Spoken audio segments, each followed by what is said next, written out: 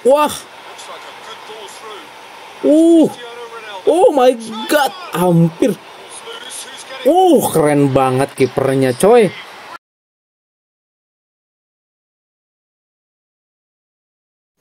Kembali lagi bersama saya di channel Wahyu Jekta Tutorial. Nah, teman-teman, di video kali ini saya mau bahas dulu terkait game PES 2017. Ini banyak banget yang request, guys ya. Bahkan ada yang sampai email juga. Bang, coba bahas PES 2017. Emang sebagus apa sih PES 2017, guys? Dan ternyata setelah saya coba main ya, saya coba tes main di laptop dulu.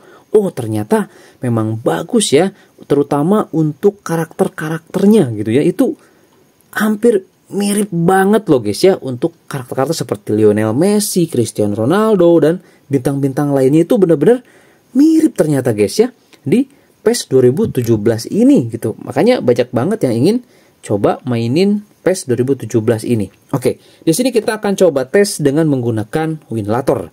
Karena saya sudah coba tes dengan menggunakan Game Hub, padahal ini Game Hubnya sudah versi terbaru, dia nggak bisa uh, jalan guys, nggak bisa meluncur di game hub versi ini.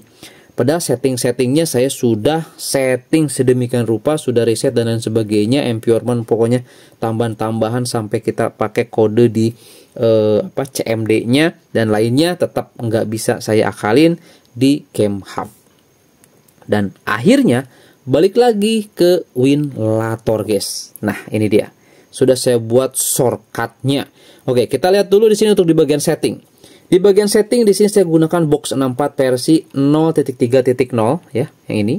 Untuk box 64 presetnya kita gunakan compatibility karena memang si PES 2017 ini agak susah, guys ya. Seperti itu. Terutama ya ini saya coba modifikasi yang 64 bit rata-rata itu ada yang 32 bit aja gitu ya.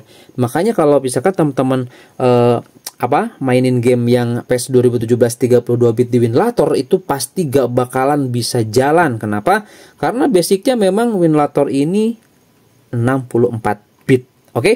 Seperti itu. Kemudian di sini untuk wine versionnya pakai yang 9.2 custom.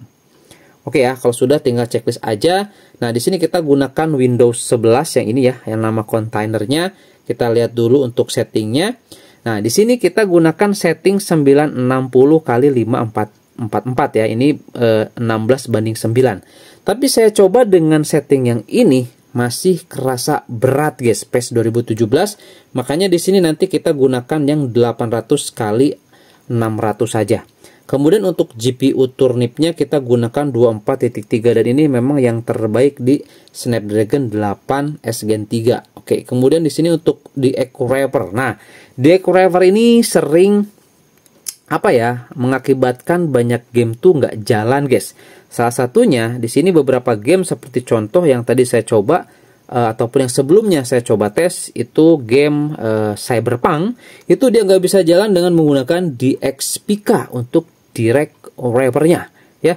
Jadi di sini direct wrappernya kita gunakan PKD 3D. Tapi untuk PES 2017 kita gunakan di XPK dan di sini kita gunakan 2.5.2 yang paling baru guys di uh, Winlator 9.0 official ya. Nah, jadi gunakan yang ini. Kemudian untuk settingan yang lainnya ke bawah kita gunakan GPU name-nya RTX 3070.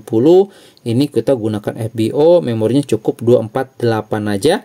Dan di sini yang ini kita tidak di checklist ya. Kemudian di uh, win komponen, teman-teman bisa disamain aja. Yang pasti Visual C wajib diinstal nanti setelah masuk ke dalam tampilan Winlatornya ya. Jangan sampai gak diinstal guys. Ini penting Visual C ini untuk kelancaran gamenya.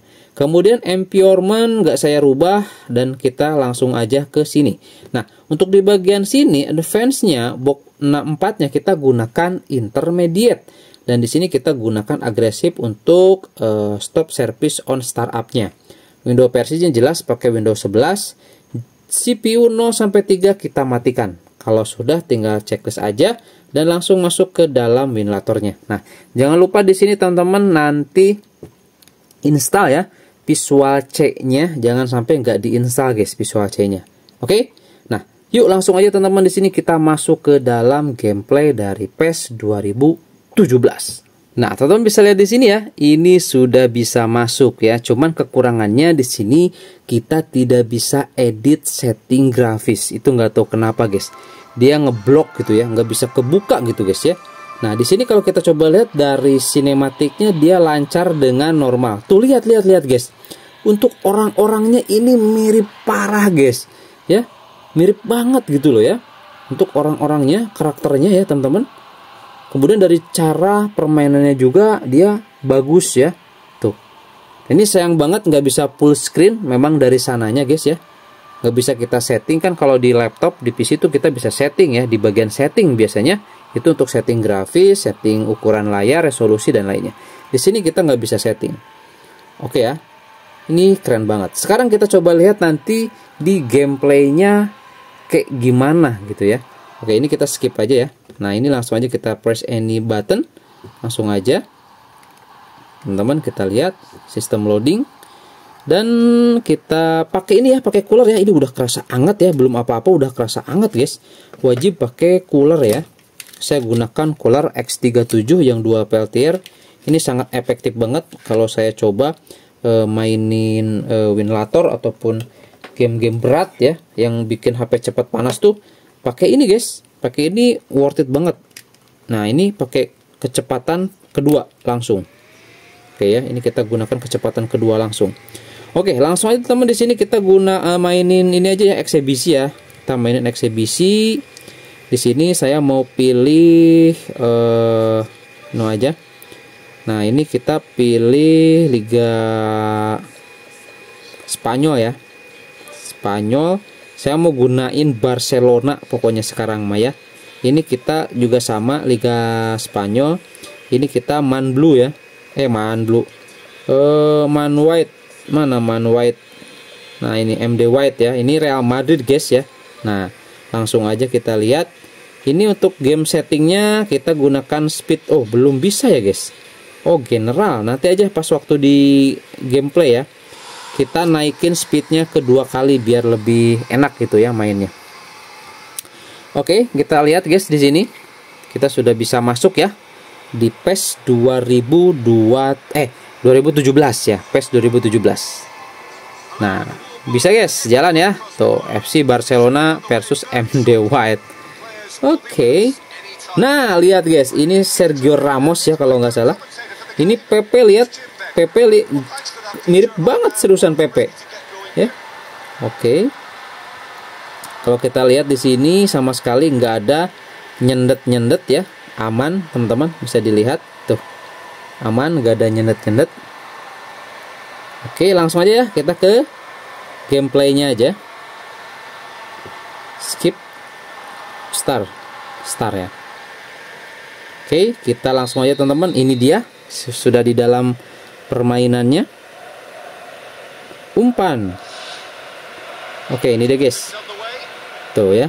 Oke di sini untuk supaya bisa lebih enak lagi mainnya eh, setting sistemnya gunakan speed kali dua ya. Nah, oke sip. Langsung aja lanjut. Oke guys ini dia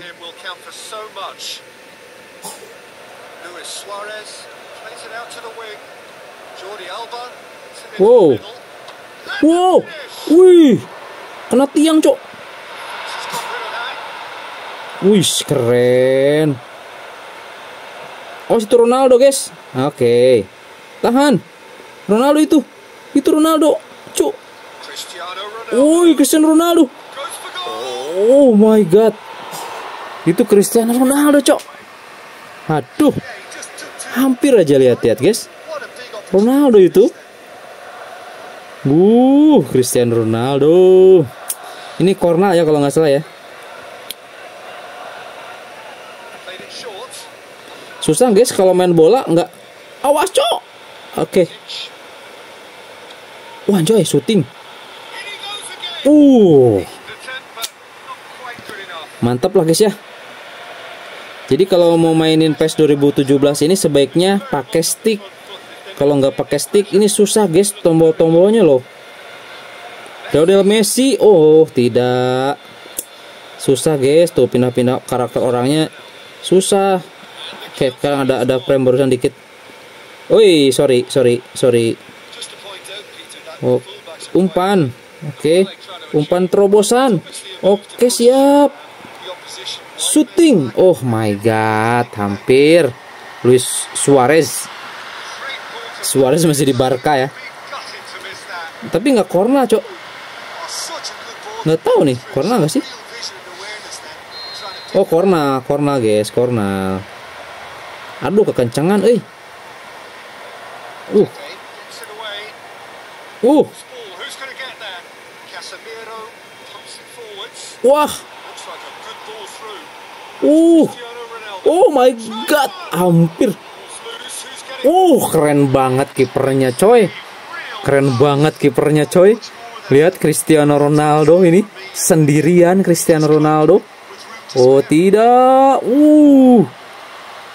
Uh, kipernya keren abis ini mah. Keren ya. Oke teman-teman, seperti itu ya. Ini bisa jalan di Winlator PES 2017. Oke, sip teman-teman ya. Oke, semoga ini bisa menjadi referensi buat teman-teman. Untuk settingannya di awal video saya sudah jelaskan dengan detail. Oke, itu aja dan sampai ketemu lagi di video saya selanjutnya. Saya mau lanjutin nih guys ya, maininnya. Eh, seru, mantap. Lebih seru lagi pakai stick sebenarnya ini ya. Oke.